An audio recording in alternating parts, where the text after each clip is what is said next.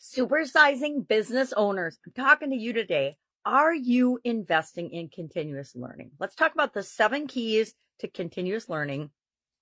And are you using it in your organization to build and grow and supersize? I have learned through lots of experience, some good, some bad, that it's imperative that we continuously learn and grow. And I call it lifelong learning but other people call it continuous learning. I think continuous to me means we're doing it every day and all the time. And actually, we are if we're open to it. Uh, but lifelong learning means I don't stop learning after I get out of formal school. Remember when we all used to go uh, K through 12, kindergarten through 12th grade, and then you could decide, am I going to go on to learn more or am I not?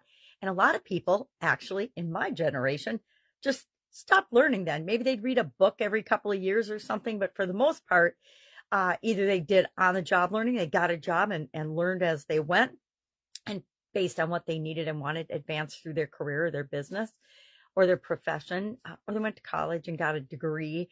And, you know, it'd be nice if even in my time, uh, we worked in the same thing that we went to college for, but that seldom happens. I uh, started in, I, I, went to college for engineering and I ended up uh, going the leadership route and management route with my first job out of college and pretty much stayed in that uh, got directed to the quality function which i love because you get to stick your nose in everybody's business in the entire organization which is why i was in corporate america in the first place i wanted to see how different businesses ran from the inside out so i could do a better job creating and building and supersizing my own businesses.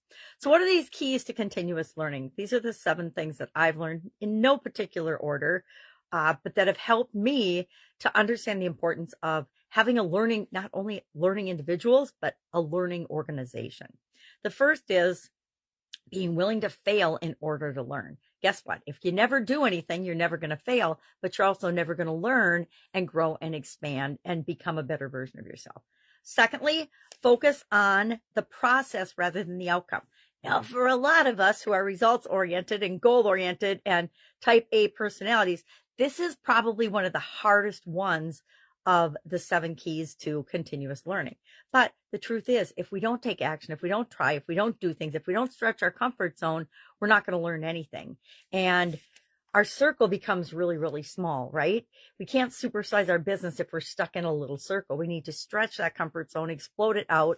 And that means trying things and perfecting the process of learning, not necessarily the results that we get from each book we read or from each course we take or from anything. However, I think that that's a mindset thing as well. If and I decided a long time ago when I first started learning and doing personal development work and things that if I could just get one idea out of a course or a book or a topic or a lecture or an event, then it was worth my time and energy attending that event. Why? Because it's almost impossible to calculate the impact and the positive impact of that one idea. You know, one idea can be worth a billion dollars nowadays.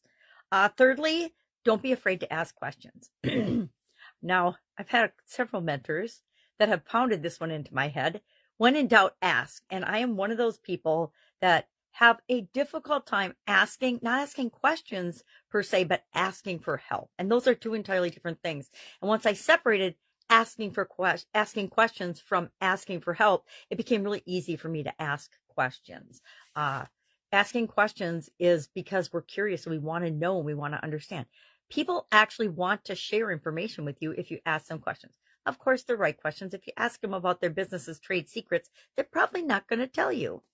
Uh, number four, take time for reflection and uh, finding those aha, epiphany, revelation moments in what you're learning, right? There is no point in continuous learning as defined by many industries. You know, people in different industries and different licensing and things have to take updated courses. When I was in the real estate industry and I had my real estate license and my and my broker's license, I had to take continuing education classes. People in different industries, different trades, different professions take continuing education. But it's kind of like when you went through and got your education in the first place. There's people in college that partied their way through college, got their degree, but probably don't even remember those four or five or how many ever years they were there. And then there's people that went to college and got the most they could out of that experience because they were there to learn and get their money's worth out of what they were there for. Uh, and so I've always told myself and my kids, what you put into things is what you get out of them. Uh, so take your, take some time to actually use and apply the things that you're learning. Continuous learning for learning's sake is, is okay and good because it makes you a better human being. But if you never apply it, if you never use that, what's the point? Uh, it's kind of like tracking and, and data collecting in organizations. Uh, I I used to collect and do so much data analysis in corporate America as part of the quality function and realized that 98% of it we never used for anything. We just documented it, but we never used it for decision making to improve our processes or anything. And I found that super duper frustrating because it felt like a waste of time and energy. If you're going to collect the data, you might as well at least analyze it and use it for something like good decision making or continuous improvement. Uh, number five, key to continuous learning, play to your strengths. There is no point, and there's a lot of point, uh, a lot of emphasis on fixing what is wrong with us or what our weaknesses are and, and filling those in.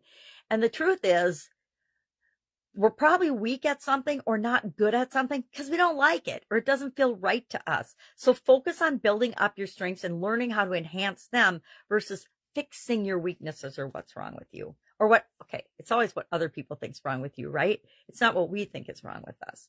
Uh, number six, learn from people around you everyone you come in contact with is here to teach you and show you something, even if it's just a reflection of how you're acting in a certain situation. Everyone comes into our life for a reason, for a season and a reason, I like to say. Uh, so learn from the people around you and surround yourself with people you want to learn from, that you want to model, that you want to learn from. And finally, build a portfolio of experience and um, I did this in corporate America when I was switching jobs.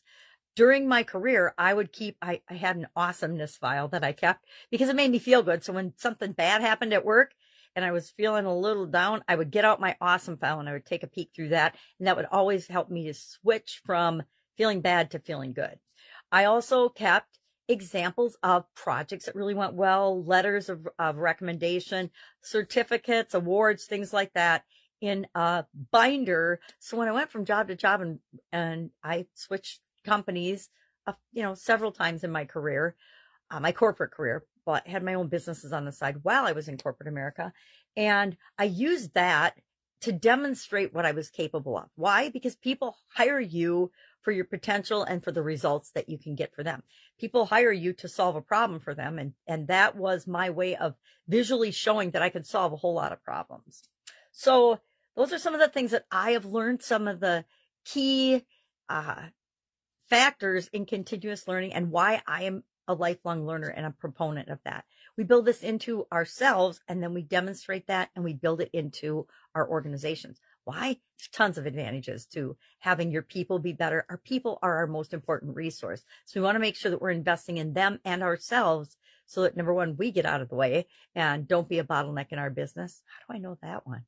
and so that other people don't become bottlenecks and they can contribute to the best of their ability as well. All right, that's it. I'd love to know your experience with this. Are you a continuous learner? Oh, the one I forgot, which is for my friend Avil.